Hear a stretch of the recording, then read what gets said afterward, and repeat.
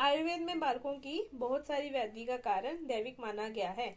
वह व्याधि जो शिशु को ग्रहण करती है, उसे हम बाल ग्रह कहते हैं। इनकी चिकित्सा दैवपाश्य चिकित्सा और युक्ति प्राश्य चिकित्सा से की जाती है। इनके ग्रह के जो भेद होते हैं, वो नौ बताए गए हैं सुश्रुत के द्वारा और वागवत ने इसके भेद बारह बताए हैं। ग्रह के दो भेद बताए गए हैं। एक पुरुष ग्रह होता है, एक स्त्री ग्रह होता है। पुरुष ग्रह में आते हैं स्कंद स्कंद अपसमार, नागमेश, स्वग्रह, पृथ्वी ग्रह। और स्त्री ग्रह में आते हैं, शकुनी, रेवती, पूतना अध पूतना शीत पूतना मुख मुंडिका अदृष्ट और शुष्क रेवती।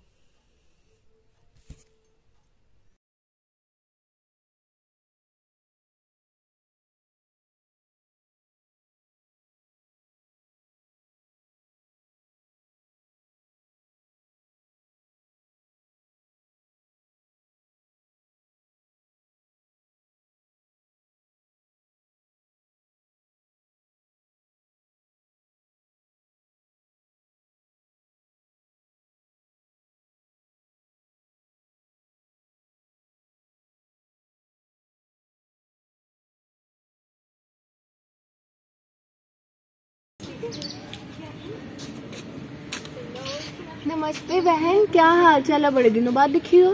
क्या बताऊँ बहन मैं तो बहुत परेशान हूँ। क्या हुआ? मेरी बेटी है ना वो बहुत बीमार है। वो अकेले बैठी रहती है कभी रोने लग जाती है कभी हंसने लग जाती है। मेरे को तो समझ नहीं आ रहा है क्या करूँ। हर तरह के डॉक्टर को दिखा लिया है मैंने पर उसे कोई फ़र्क नहीं है। तो तूने यहाँ के प्रमुख वैद्य को नहीं दिखाया? उनके बारे में नहीं सुना? कौन प्रमुख वैद्य? तू कल तैयार है ना मैं तेरे को उनके पास लेके चलूँगी। चल ठीक है फिर कल मिलते हैं। हाँ ठीक है। ओके।